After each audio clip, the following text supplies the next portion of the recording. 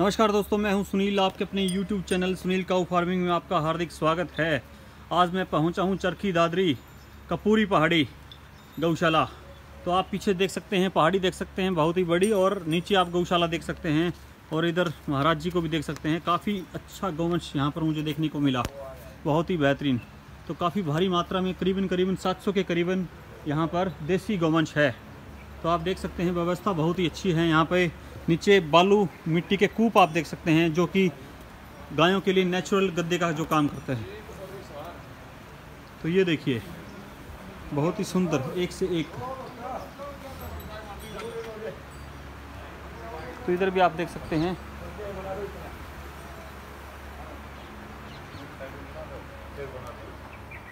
ये देखिए, मेल का यहाँ पर आप देख सकते हैं, ज़्यादातर जो आपको गोवंश मिलेगा वो है देसी गोवंश ही है। हरियाणा और थार पारकर नस्ल। तो पहाड़ के नीचे बहुत ही सुंदर भव्य गौशाला। करीबन करीबन 700 के आसपास गाय इन्होंने बताई। और नन्हे काफ आप देख सकते हैं। संध्या का समय है, मिल्किंग हो रही है तो ज़्यादा अंदर में नहीं जाऊँगा। इधर भी देख सकते हैं आप। गौशाला के अंदर और ऊपर देख सकते हैं खंबे के ऊपर। ये देखिए मोर बैठा हुआ। कम से कम डेढ़ सौ दो सौ मोर देखने को मिलते हैं। पहली बार करीबन करीबन 200 के आसपास मोर यहाँ पर राष्ट्रीय पक्षी देखने को मिले हैं। मोरों की संख्या बहुत ज़्यादा जी जी। और इधर आप मंदिर देख सकते हैं वहाँ पर धुना है। तो कभी भी दादरी अगर कोई भाई आए तो यहाँ इस गौशाला में ज़रूर आ करके जाएँ। कपूर कपूर की कपूर की पहाड़ी। पहाड़ी। ये देखिए मोरों की आवाज़ भी आप सुन सकते हैं यहाँ पर। नाथ संप्रदाय की गौशाला है। नाथ संप्रदाय की गौशाला। हाँ कपूर की पहाड़ी। जी बहुत बढ़िया। नाथ इधर महाराज जी को भी देख सकते हैं। आदेश महाराज जी।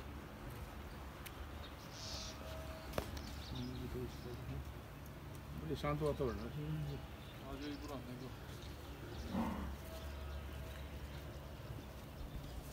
पानी पियो है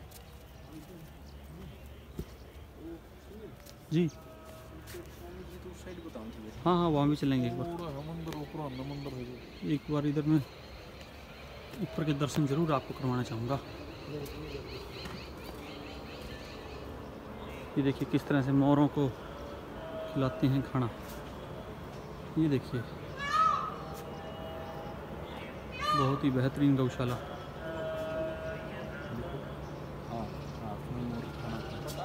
किस तरह से मोर को दाना चुका खिलाया जा रहा है।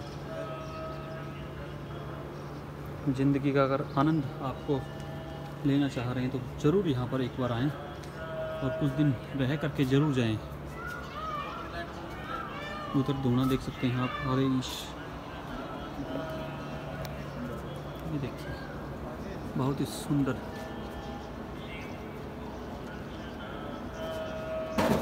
गायों के बीच दिन भर रहते हैं।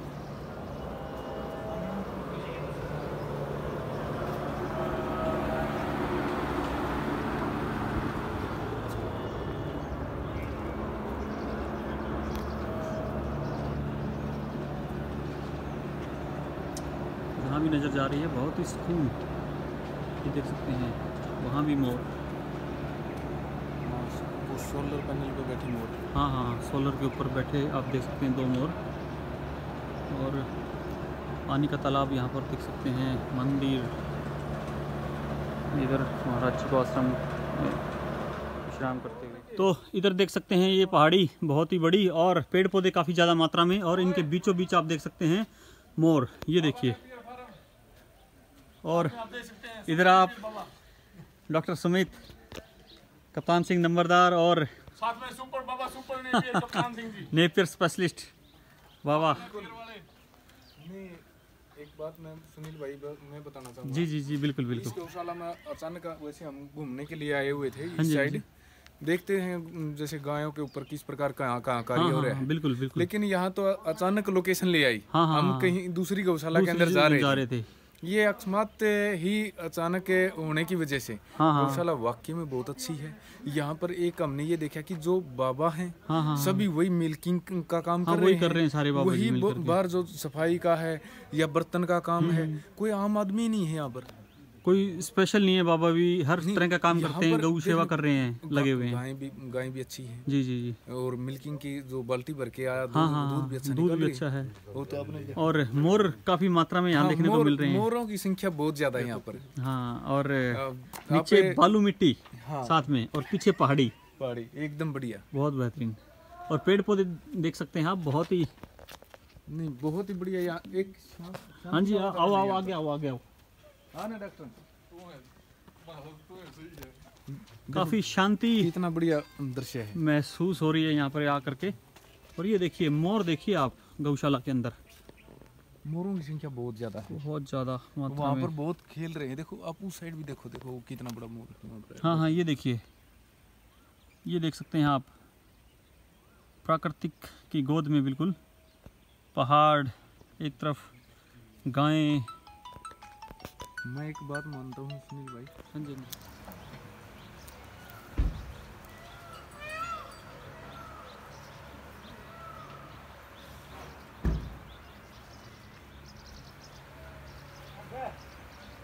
गौशाला के अंदर आप मोर भी देख सकते हैं। काफ़ी ज़्यादा मात्रा में यहाँ पे राष्ट्रीय पक्षी मोर को देख सकते हैं आप। बहुत ज़्यादा मात्रा में। और काफ़ी, ये देख सकते हैं, पीछे पहाड़ी देख सकते हैं आप। बहुत ही बड़ी। उधर से ऊपर से उठती हुई।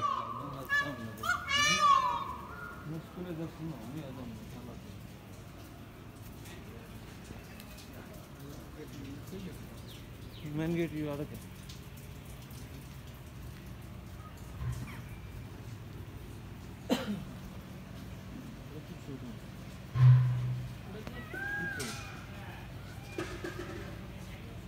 गया कि मेन गेट से पूरे हो तो आना है। चलो। हम तो से आगे थे।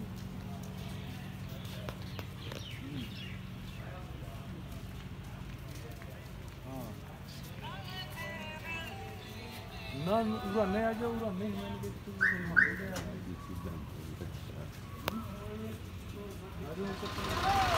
मेन संगत यहाँ पर देख सकते हैं, जयकारे लगाती हुई। तो बहुत ही ज़्यादा मात्रा में यहाँ पर लोग पहुँचते हैं और बहुत ही थोड़ा अभी शाम हो चुकी है।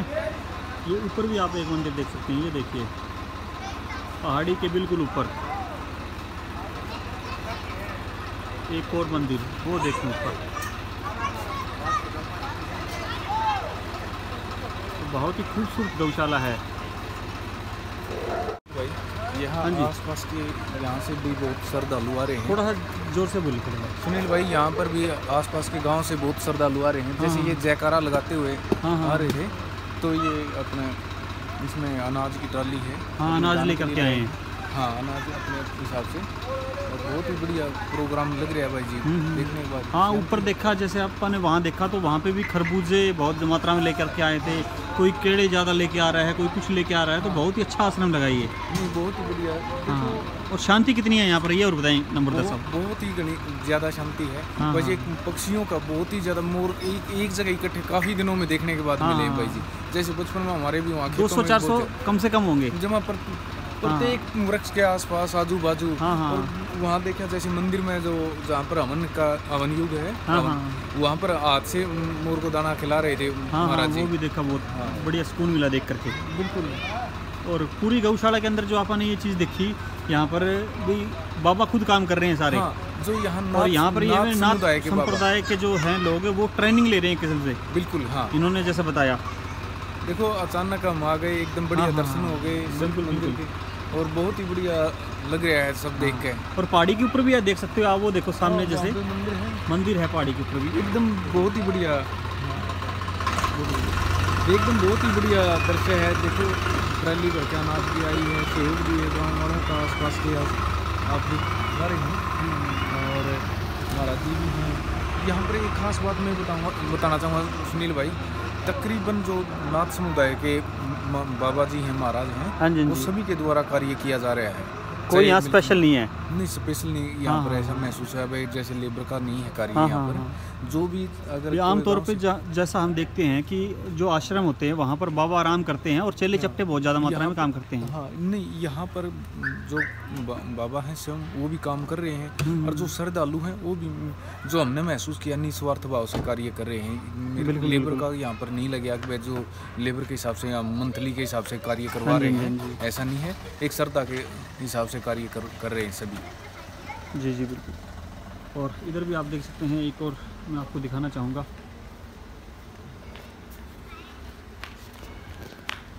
अंधेरा काफ़ी हो चुका है माफ़ी चाहूँगा उसके लिए क्योंकि हम लेट यहाँ पर पहुँचे हैं। और मोर की आवाज़ आप सुन सकते हैं।